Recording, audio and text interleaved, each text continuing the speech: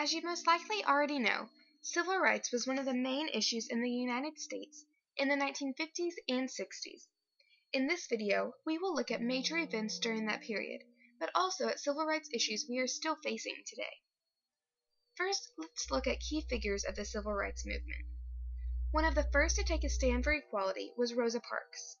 When Rosa Parks chose not to give up her seat on a bus for a white passenger, she was arrested and the black community she was from started boycotting buses. This lasted for over a year until the buses became desegregated in 1956. Another key figure is Martin Luther King Jr. Some people consider him the most influential person in the civil rights movement. He chose not to be violent, but instead led many peaceful marches, sit-ins, and spoke to thousands of people concerning civil rights. A third key figure is Malcolm X.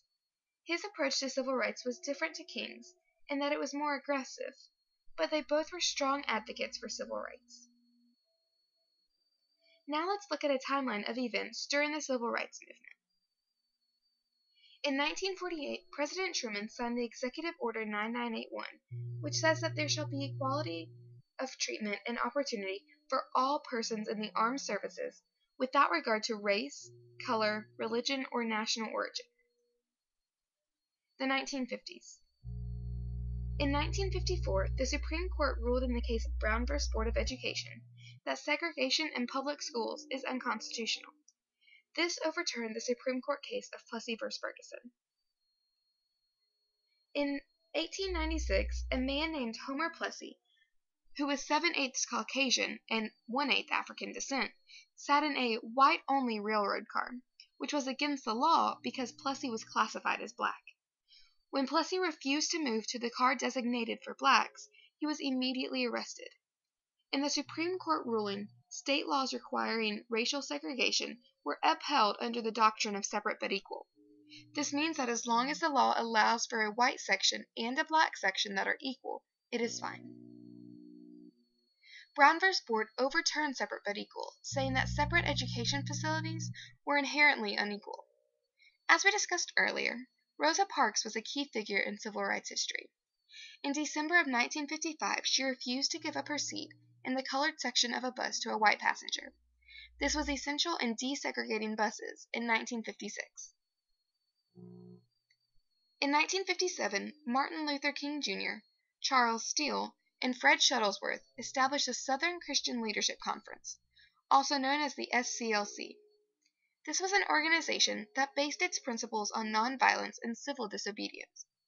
The SCLC became a major force in the civil rights movement with King as the president. He said it was essential that the civil rights movement not sink to the level of the racists who opposed them. In September of 1957, nine black students were blocked from entering Central High School in Little Rock, Arkansas, on the orders of Governor Orval Faubus. President Eisenhower sent troops and the National Guard to intervene on the behalf of the students who are known as the Little Rock Nine. The 1960s. In 1960, the Student Nonviolent Coordinating Committee, also known as SNCC, is founded at Shaw University. It provided young blacks with a place in the civil rights movement. In May of 1961, students began, began taking bus trips through the South to test out new laws that prohibit segregation in interstate bus and railroad stations. These groups were called Freedom Riders and were attacked by angry mobs along the way.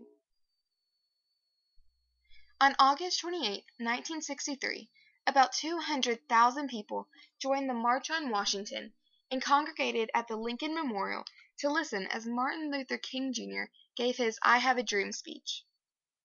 On July 2, 1964, President Johnson signed the Civil Rights Act of 1964, which was the most sweeping civil rights legislation since the Reconstruction. It prohibits discrimination of all kinds and provides the federal government with powers to enforce desegregation. In the United States today, there is legal equality for all, but there are still individuals that will discriminate on various grounds. The African American community still deals with problems today. These include high school graduation rates, the HIV/AIDS epi epidemic, and various other issues. However, there are many positives with the African American community also.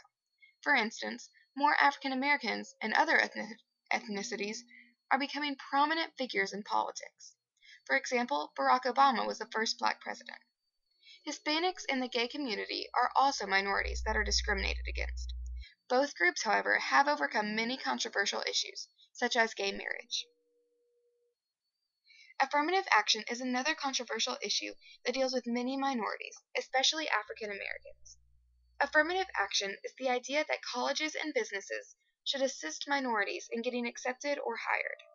Some people think that this is an unfair advantage, whereas other people think that affirmative action is a useful program to help minorities. This was developed and enforced for the first time by President Johnson, and it is very controversial to this day. Remember, even though many laws have been passed to eliminate discrimination, individual discrimination still remains today.